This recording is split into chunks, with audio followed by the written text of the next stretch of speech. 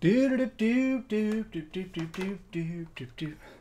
Oh, hey there. You know, I was sort of just sitting here today and thinking about the fact that something isn't quite right. Typically, around this time of year, we start to see some major leaks coming out of E3. The Electronic Entertainment Expo is, of course, a time of extreme hype.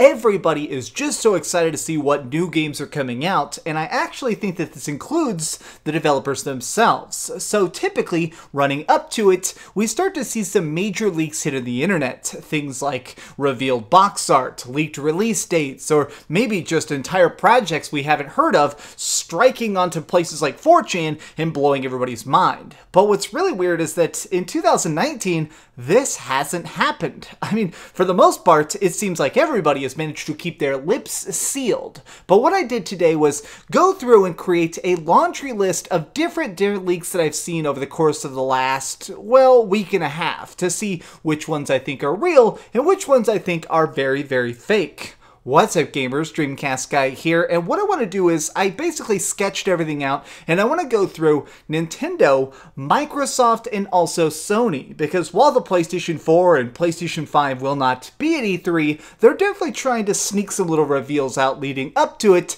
to keep the hype train rolling. So let's begin by talking about Nintendo themselves, because they usually have some of the most interesting tactics when it goes into E3, because over the course of the last five years, they've sort of been doing this thing where instead of trying to just scattershot a bunch of different announcements, typically they like to center themselves on one or two major titles. It's what they did with Smash Brothers, Mario Odyssey, things like Breath of the Wild, and it's a gamble that has really paid off. The idea that instead of trying to show 15 different trailers, they just say, hey, here is our next massive game. But right now, it seems like they may be trying to do something a little bit different in 2019 because Nintendo is just working on so much. There's rumors that they could be working on 10 different major projects simultaneously. There's Metroid Prime, Animal Crossing, maybe things like, well, obviously they're working on Fire Emblem. But one of the leaks that's come out that is a little bit difficult for me to believe is a No More Heroes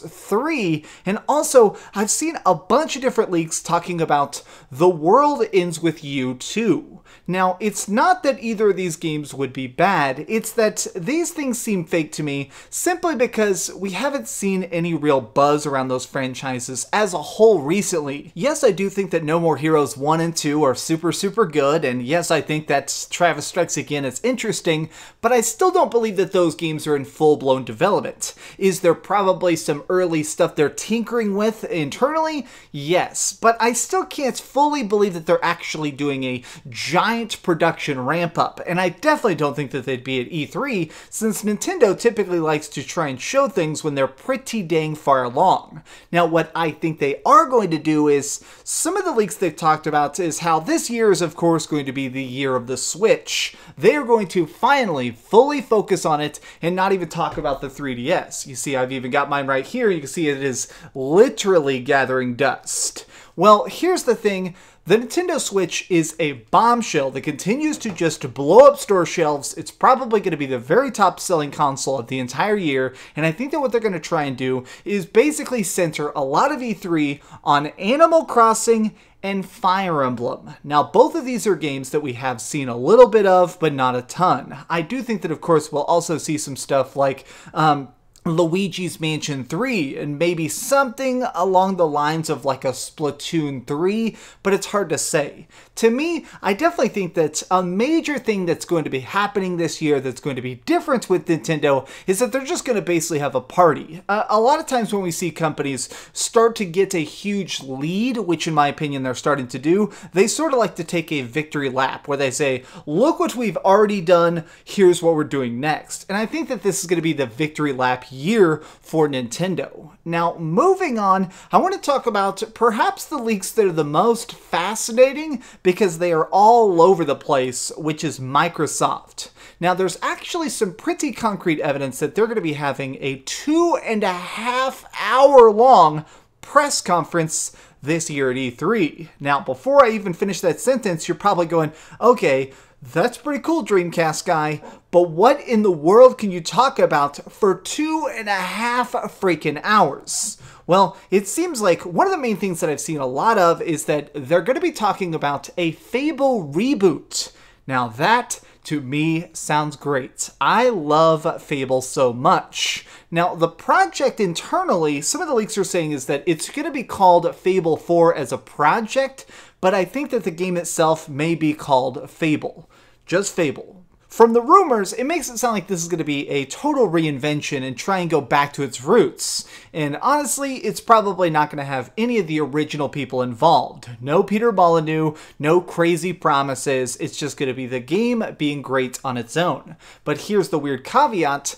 Most of the leaks are saying that it is going to be a next Xbox exclusive. It's only going to be on the next generation and it's going to come out in 2021. Now, the other thing that I've seen a lot of people talking about is Halo Infinite. Now, I'm not going to read it, but there is a huge trailer type leak that's been going around over the course of the last couple days where somebody is claiming to have basically seen the trailer and they wrote out a huge uh, description of it and it sounds super epic. But what's interesting to me about Halo Infinite is because this is, well, obviously going to be the next giant Halo, but additionally, it's apparently going to be cross generation. They want it to run on the Xbox One and also the next box, which I'm just calling it here to sound cool. Now, I think that this is a very smart move because a lot of Xbox fans love their Xbox, they play their Xbox, they're thrilled about Game Pass, but let's face facts, they definitely want more exclusives. They want more cool stuff that they can play and keep all on top of their little shelf of games. I understand that, right? Part of the fun of games is exclusives. Exclusives help consoles, that's undeniable. But I do think this is something that could keep current fans happy and next gen fans absolutely thrilled. Now that sounds really, really fun, but there is some stuff that's sort of being talked about right now that I don't believe is much when it comes to, well, in general, the whole Microsoft press conference, which is there is still talk about some sort of Scalebound reboot, and I do still think that we'll see Scalebound someday, but I don't think it's going to be on the Microsoft stage. Um, also, additionally, I have seen some people say that they might do a giant presentation for Gears of War 5 and also Gears of War Tactics. Now, I think that both those games are probably 90% done, but I have a hard time uh, really imagining that they talk about them right now on the Xbox stage. Microsoft seems to be really trying to gear themselves up for the next gen in such a major way, but personally, I would be happy to see more about Gears of War 5. The details on it seem cool, the leaked box art is gorgeous, and honestly, I'm going to play that game no matter what. Gears Tactics, I don't know about. It just seems so weird.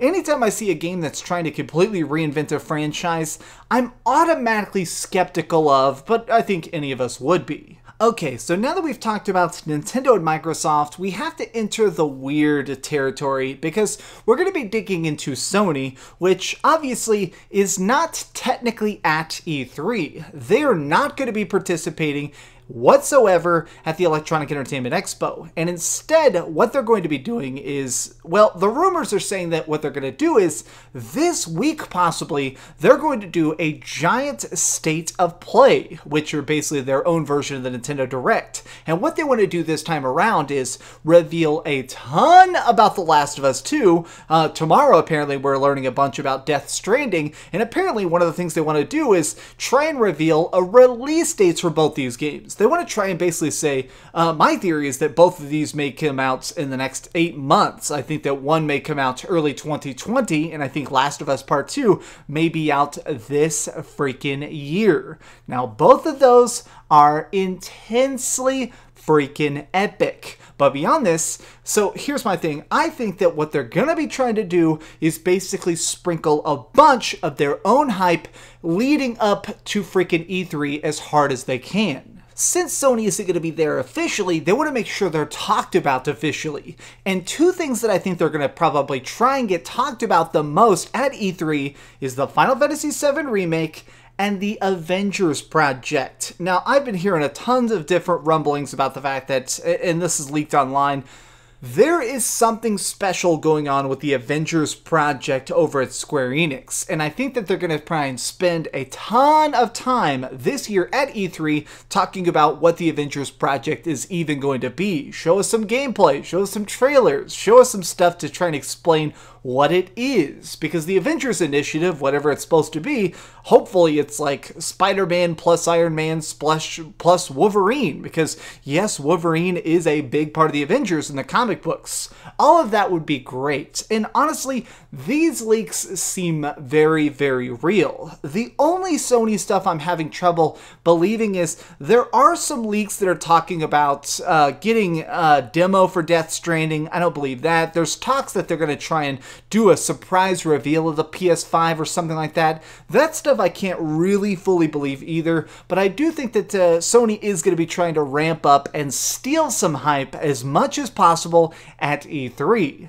Either way, this is going to be a very fun ride, and I'm curious what really goes down. Uh, obviously, when it comes to the internet, this is all just leaks and speculation right now. All of it may be true, none of it may be true. There are some leaks out there that are huge that I didn't talk about, like uh, Roller Champions. Ubisoft has apparently a huge roller derby game that's about to come out, and they just leaked the entire game by accident. People are seeing all this art and stuff way ahead of time. There's also stuff like, there's just so much out there that is curious but might be convoluted. Thank you all for watching. This has just been a random off the cuff video talking about my hype for E3, and I'm excited for it. Uh, man, it's crazy that it's just like 10 days away now. What do you think? What are your favorite E3 leaks so far, and which ones do you think are just so clearly hilariously wrong? Let me know your thoughts in the comments down below. If you enjoyed this video, please give it a like, share with your friends, and subscribe if you haven't already. But do me the biggest favor of all and keep dreaming.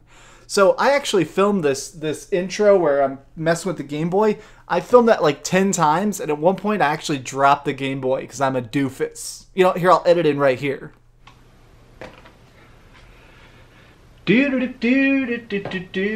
Oh god damn! Oh shit!